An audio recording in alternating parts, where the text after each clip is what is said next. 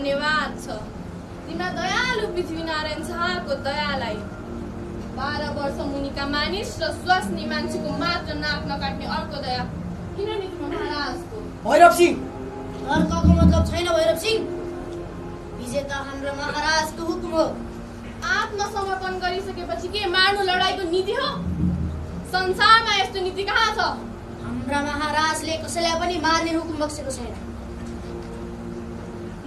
काट्नु भन्दा त बरु मार्नु मानेकी वीरता होला लडाइँमै मारिएका हुन् वा होलान् भनेर दोष पनि छोप्न सकिन्छ इतिहासको पनि डर मान भन तिम्रो महाराजलाई हट्टा नबोल भैरव सिंह मेरा साथमा भएका हात हतियारलाई रिस मार्न गाह्रो होला खुब भने मैले तिमीहरू विजेता हौ इतिहासको डर नमानी पराजित देशका बिचरा उप जे पनि गर्न सक्छौ होइन भने म एकचोटि फेरि भन्न चाहन्छु पराजित देशका बुढा र बच्चा समेतको नाक काट्नु कुन धर्म र नीति हो सोह्र वर्ष मुनिका तेह्र चौध वर्षका मानिस जरुर बच्चा हुन् उही पनि आत्मसमर्पण गरिसकेपछि यो हाम्रो फरमाइस छैन हाम्रा महाराजका हुकुम हो। नमस्ते मेरो नाम सोजिना कार्की हो। म अहिले जेएनएन अ, स्कुलमा जेएनएन स्कुलमा पढ्छु र कृतिपुरको युद्धमा नामक नामक नाटकमा मेरो मेरो रोल रहेको छ भैरव सिंहको र यो मेरो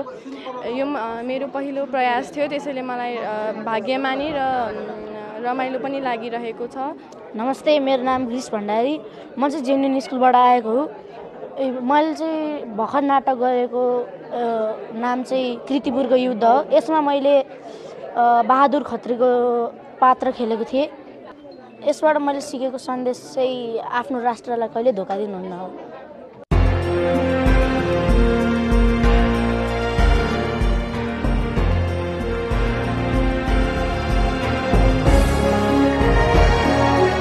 मेरो आवाज।